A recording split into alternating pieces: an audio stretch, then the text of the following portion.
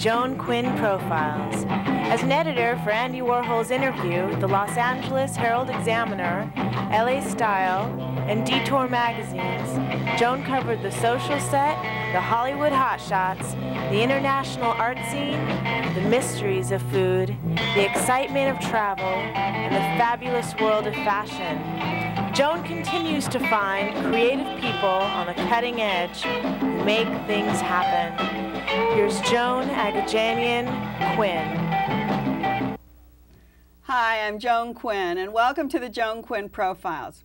Waiting to be profiled is actor Kamel Krifa and artist Yolanda Gonzalez. Kamel Krifa was born in Tunisia and raised in Brussels.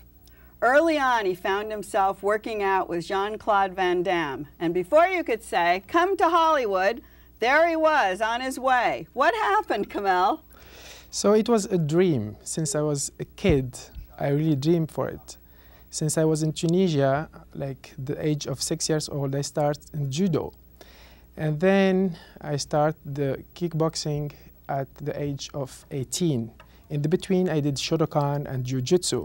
So you were into martial arts as well? Yes. Do you call kickboxing martial arts?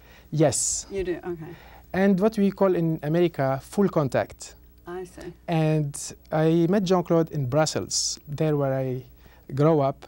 And Jean-Claude, I met him when he was 13 years old. And we trained together at the same dojo with the same trainer. We became best friends. And with the time, Jean-Claude came here and myself, I continued my life in Belgium. I opened my restaurant. And stop. Yes. What kind of restaurant? French restaurant. Because French Belgium, cuisine. Anywhere you go in Brussels, you can just eat on the street, and the cuisine is the best you've ever eaten in the world. That's true. Good to hear that. it's really Thank true. You. And I started doing the restaurant at the age of 16 years old. Ah. I study for it. Oh, you did? And then I work in big hotels like Hilton Hotel, Westbury Hotel, and to be Maitre d' and director of food and beverage. I see. And then I opened my restaurant and I run the restaurant between 10 years. Wow, so you didn't have contact with Hollywood all that time. At that time, I came back and forth. Oh, you were? since 18 years. I see. Only since six years, I met Mark DiSalle, who did Death Warrant, and he chose me in Cannes Festival. Oh. And he asked me to come to uh, Hollywood and to start in his film Death Warrant. And I played the bad guy, a killer in prison with the mohawk and tattoos names on my head. Oh, yeah. It was my first experience and it was my dream became true and start in Hollywood. But you weren't acting. Did you have any acting lessons? I did the acting lessons in Europe first. Oh, you did? I did. So I you prepared were myself. all the time thinking you yes. were going to come. yes. And uh, then Jean-Claude, he asked me to become his personal trainer and sparring partner. And we worked together almost three years. I did four films with him. As you were training him, yes, you worked on the films. I think it was Lionhearted, Lionheart, Death Warrant, Double, Double Impact, and Universal Soldier. It was a great experience, but we worked together almost 24 hours. We live together at his guest house. Oh, you did? And we have breakfast together, we work together, we train together. It was really nice of Jean-Claude because that gave me a lot of experience in my... But did you get sick of each other? Not really, because I want to do on my own and to create my image and to follow my dream, I have to show what I can accomplish.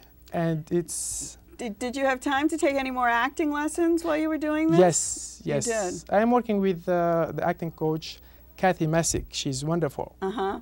Well, when you would get up in the morning, let's do a typical day with Jean-Claude, and you're going to do um, a, a movie, let's say. Yes. You work out, you get up at what time? Five?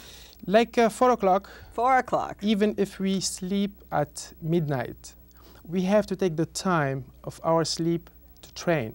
And we train three hours a day. Well, you think training is more important than sleeping? I mean, you, do you need the sleep to be able to train? We need to train, especially in the film business. When you're on the set, you don't have time to train. Mm. So, and the hours in shooting a film, it's 12 hours minimum, if it's not 16 hours.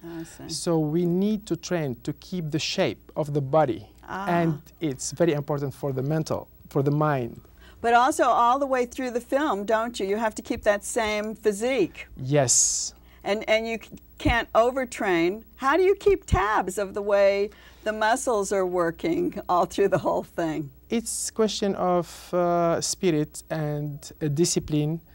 And you, Do don't feel that you, you- are tired. Can you see it? Can you see the body change if you have if you're not doing what you're Of supposed course, to do? yes, because every day we watch ourselves in the front of the mirror Uh-huh. and see what's wrong, what's uh, missing, what we have to make it better. And that's everyday work and achievement to perform better. It's like for the body, for the spirit, for the mind. Mhm. That's all together. So when you finished the uh, Jean-Claude Van Damme movies, did Yes. you then move into uh, you? You started working with Steven Seagal. I did uh, Under Siege with Steven Seagal. It was a great experience. He's a wonderful man. And he asked me to work on his uh, next project on Deadly Ground. And uh, the producer, Steven, uh, he asked me for a kickboxer to play Tong Po. So is that what we have here? Yes. We have a picture of Tong Po. Yes. This doesn't look like you at all. No, that's How did you get this look? with three hours makeup every day. Is that right? Yes. So you have to work out three hours or four hours. You have to spend three hours in makeup. Yes. And it's very hard to play that character because with the makeup, you can't warm up on the set. You can't sweat, which ah. is, it's very hard to pump up the muscles and to be on the top of yourself to show on film. What did they do to you? What did they do to your hair? They shaved the hair, the whole head, and they put extension for the ponytail. And at the same time, like for the expression, I have a mask on my face. Ah. And we so see this is a mask through a here? mask through the face, on the eyes, and it's not my eyebrows. So the expression in the acting, it's ah. very important to express yourself with the eyebrow and the eyes. Because you move that Exactly. mask up and down. And for me, it was struggling. It's like someone who take me on the neck, you know what I mean, to express myself, the talent of the acting. It's very important to express through the eyes. so this was a new thing for you. But I have to go through, yes, I have to go through that. And for that, they was very happy and they signed me for four more films. So we're going to see Kickboxer 4, which you were in. And I think we have a clip from that. And you play the same character? Yes. Okay, let's see it. that was very good. Thank you. You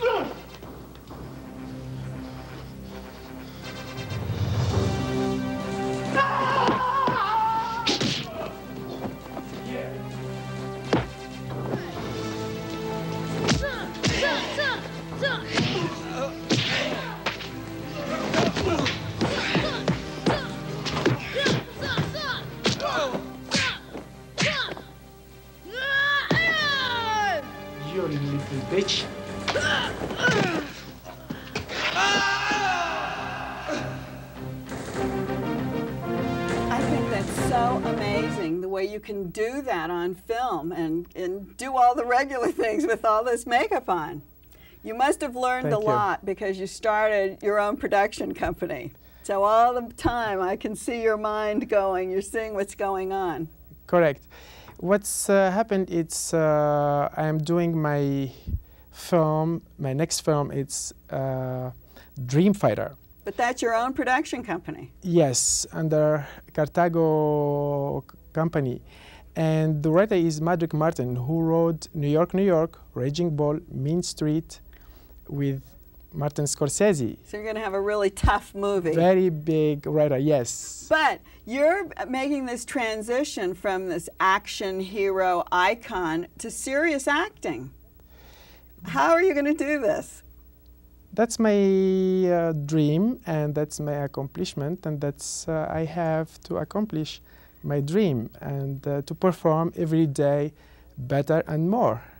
I am not there yet, but I am in my way. What about, would you give up the uh, action hero to be a regular um, straight actor, a dramatic actor? I think I can combine both. Oh, you do? That's the best way to to do for me. Do you still keep fit every day? Do you still work? Yes, I work out every day, three hours, and I work on my acting, and I'm preparing my uh, next uh, film. You did something um, with Hulk Hogan. I did. Hulk Hogan. Yes, Cherry. He's a wonderful man. Uh, but how can you come up against him? Isn't he a lot bigger than you? He's bigger than me, but I'm faster than him. Ah, that's what it is. He's a very strong man.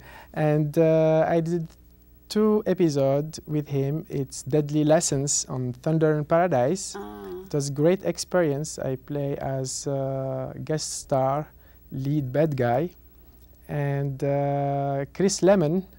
Oh, I have a picture Jack Lemmon's son, he's his uh, co-star, yes. I have a picture of the two of you. Wonderful actor.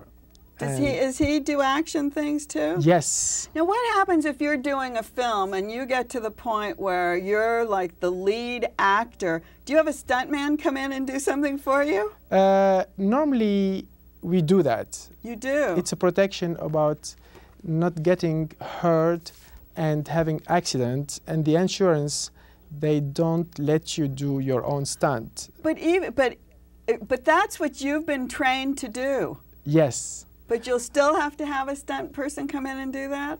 It's obligation. Oh, it is. Yes. Well, doesn't for that the make insurance. you? and myself, I cheat sometimes. Uh.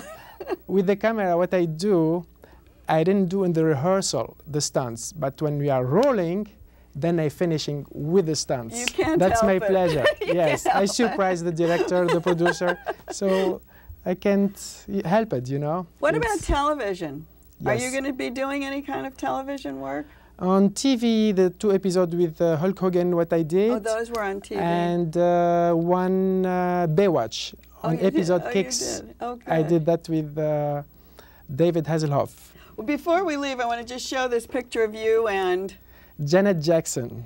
That was in Hong Kong uh-huh. when I did uh, Double Impact with Jean Claude. I act and I am associate producer in that project. So we met Janet and we have a dinner with her, me, Jean Claude, Janet, and uh, Renee. She's a wonderful person. She came to the set and we went at her show. She's very talented, and I wish in my future project I can use Janet as a lead uh, star in my movie because Dreamfighter has a concept, has a message behind it. It's getting the kids out of troubles, out of Fabulous. street, great. out of drugs, out of the violence. That's so great. And this project has also a good story behind it.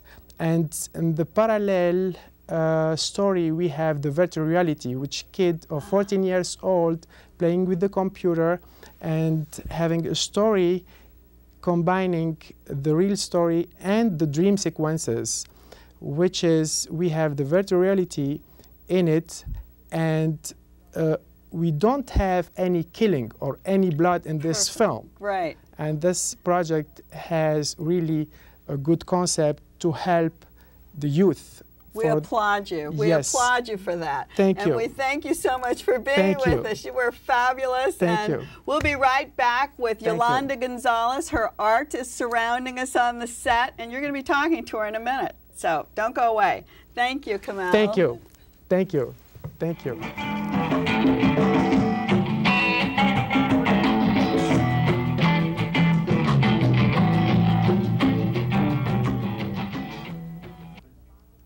I'm Joan Quinn, and we're back with artist Yolanda Gonzalez. Yolanda has had exhibitions all over the world. You could have seen her work in museums in Phoenix or Denver, in Santa Barbara or Long Beach, or what about Germany, Spain, France, and Africa?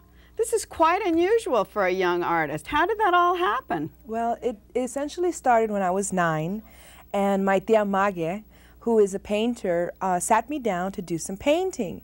And I really just felt really connected to the paint and what she taught me. And uh, my great great grandfather did some sketches that we have from 1877, so maybe it's in the blood.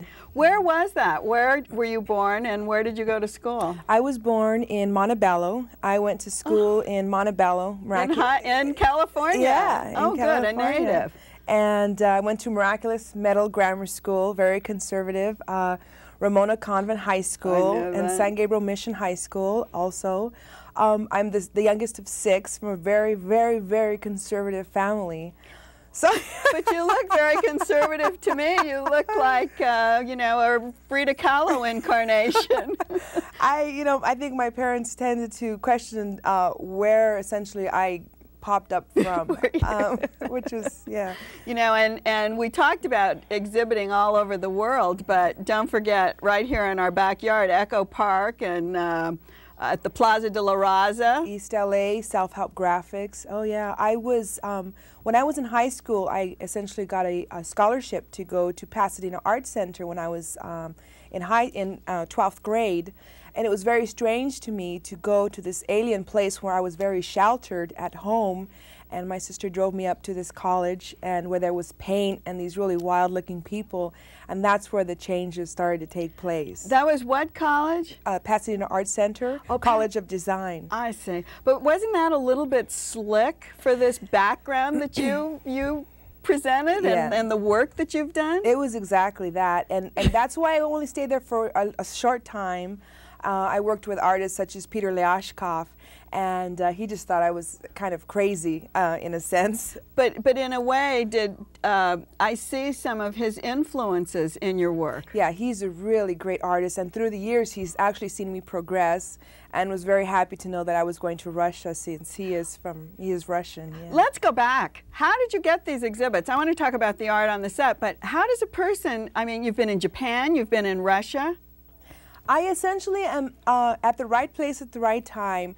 And what I tell people is I think it's karma. It sounds really strange or, you know, what have you, but I really believe that I was just meant to be there and to go there and to talk to the people, you know, in Russia and in Japan. Actually, it wasn't just your work. You went with it. Mm -hmm. yeah. It's, it's really bizarre because um, when I was about 25, which was five years ago, um, I essentially started to exhibit, well, a little bit further than that. I started to exhibit and I was doing artwork for therapeutic reasons uh, because I was really introverted and, and really kind of ah. shy and, and uh, had a lot of childhood issues I wanted to deal with.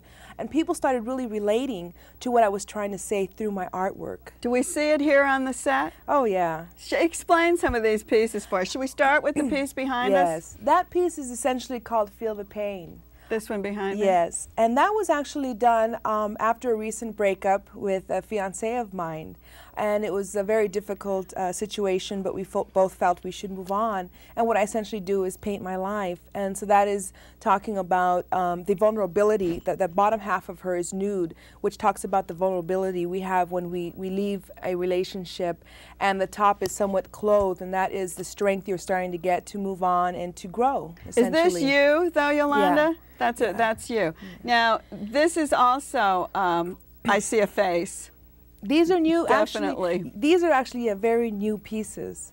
Um, and they and it's collaged as well. Mm -hmm. It's mm-hmm. not just uh, flat paint on a, on a surface or thick paint on a surface. So tell us how the process has changed. Is this this piece is this is thick, oil paint. Yes, thick oil yes, paint. thick oil paint. And I've been wanting to since I was in Japan and doing silkscreen print and um, wood block print and etchings. I wanted to incorporate that clean. Um, you know, really well maneuvered uh, technique into painting. And so what I did was I incorporated some of the woodblock here. Oh, this see. is a woodblock print that I printed in Japan. And actually this eye and this piece of nose comes from um, one of these pieces. So this is a woodblock behind you mm -hmm. on mm-hmm. that side. This is a woodblock print that was printed in Japan. And then what I continue to do is add oil paint onto it to take it one step further. Did you use the actual piece or did you start tearing it? I started it? tearing it. Yeah. And so you have, is there anything else on the set that's like that? Um, yes, this is also.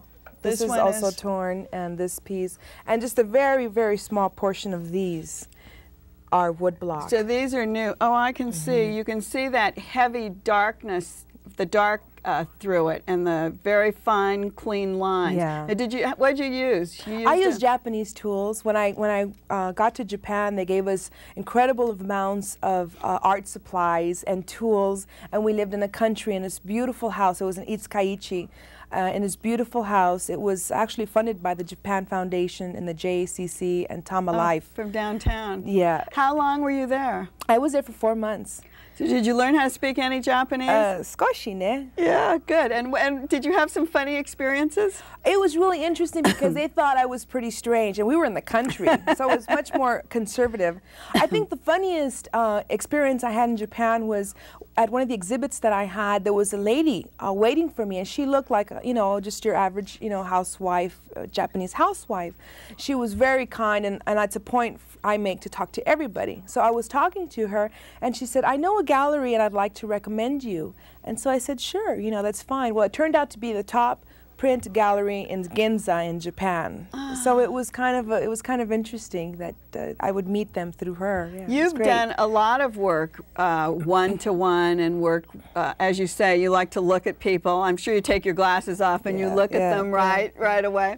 But you're doing a project downtown in Los Angeles uh, as an artist in residence. Yeah, it's it's called Inner City Arts, and what this particular um, organization is, it's essentially funded uh, by people who can afford to fund this program, and uh, it's for the inner city kids. And I teach essentially Skid Row kids. What do you teach? How do you start with them? I essentially introduce myself.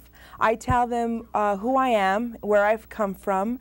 Their, the girls' first questions are, "Are you married?" Do they ask you Oh that? yeah, that's like the first question. You know, How you- old are they? They're anywhere from eight years old to 13. Uh-huh. And they're just great kids. And essentially, I'm like a big kid, and I like to have fun with them, and I teach them about self portraits. And I also throw in a little bit of self esteem and accepting who you are for what you are with the kids. And I'm considered the guest artist. It's like an artist in residence. Did you? Were, you were a guest artist in Japan, I guess. Mm-hmm. I was an artist in residence in, in Japan. In Japan, Yeah. and in in Russia. In Russia, I was asked to come by the Russian government um, for two weeks and to exhibit in oh, Russia. I see. So you didn't get a chance to teach or do anything no, there. No, I did visit with a lot of artists, and uh, it was it was great. Russia was just incredible. They must have thought you were someone from the provinces, though, because you don't look that. I mean, you could have come up from anywhere uh, yeah, as a part of the. Uh, well, it was was it Soviet Union then? we no. Oh, it had was, already- It, was St. Petersburg and, and Moscow, and yeah. Oh, so it had, the government had Yes, already yes. uh, changed. Yes. Well, you still could have looked like anyone Yeah. from one of the countries Yeah, there. That was great. Did you um, interact with the people? I lived actually at uh, one of the artist homes that we exhibited with, Oh. which was which was somewhat of a warehouse, and the the heat had been turned off, and it was uh, six degrees below zero weather, and it was a snowstorm, and so it was pretty good. We had to have a lot of uh, we had bodyguards due to Did the ya? mafia knowing that we were coming. Is that right? It was pretty interesting. It was That's pretty interesting. great. Yeah, so we live a very normal life here in California. yeah, it's really, really, it, it was just incredible. It was like going 100 years back, but it was just beautiful, phenomenal, the sights. One of the things that um, I think with the Plaza de la Raza, because being on the California Arts Council, we always funded programs that were there, and, and they always had wonderful mural Mm-hmm. pro, uh, programs. Have you ever worked on any of, uh, I- not from there, but in the city? In the city, I haven't uh, had the opportunity as of yet to work on any mural projects. Actually, I did work on one with Margaret Garcia in, I think it was like 86 years Uh-huh. ago. What, what does that entail? Is it different than working on just a regular piece of, of work? I think so. There's a lot more um, technical because it's so large. There's a lot more technical work that needs to happen, and if you're working with a certain amount of people, there's a lot more direction that needs to be put out there, opposed to just working by yourself. Oh yeah. When when you're in the studio painting, what gives you your inspiration? I essentially um, sometimes go into a meditative state. And I feel the certain emotion that I want to convey pretty deeply, and then I try to convey it onto a canvas. It's essentially like going to a therapist. So that's the beginning of each piece, Mm-hmm. but each piece is, is going to be um, representational? Each or is it more, I mean, these seem quite uh, abstract. Mm-hmm. So how do you, how do you work? I sometimes sometimes it, it, I do reach that state. Of? Yes. These are so different. Yeah, and these are these are actually probably about four years. I mean, four months, a little four months older than than this particular Oh, piece. Yeah, but I'm always trying to stretch it and to change it and to go one step further. I'm I'm really looking forward to when I'm 40 years old and and see what I'm doing at that point. I'm Before we leave, because we, just have a, uh, just about a minute left, if someone were going to sit down and do a painting of themselves, what was the first thing you would say to do when they look at a canvas? Um, if they Or were a to do, paper. If they were to do a self-portrait of themselves, to get a mirror and really look at the beauty that they are. Yeah. And then how do they put it on the paper? It's just to make an oval circle, and, and your eyes are essentially in the middle, in the center of the circle, and the nose is in the center of that, and the lips are on the center of that, and then your hairline. But I essentially uh, recommend people to see their beauty, to really look at who they are and accept the beauty, no matter if you're short, tall, fat, skinny, or whatever. It's, you know, we only live once, and each day may be our last. And we see the beauty in you. Thank Thank you. you. Thank you you, so much You for too. being with Thank us today. It was fabulous. And thanks to all of you for watching. And keep writing to us at 520 South Grand, 8th floor, Los Angeles 971. And we'll see you next time on the Joan Quinn Profiles. I'm going to hold these up now. So, oh, there. Thank you.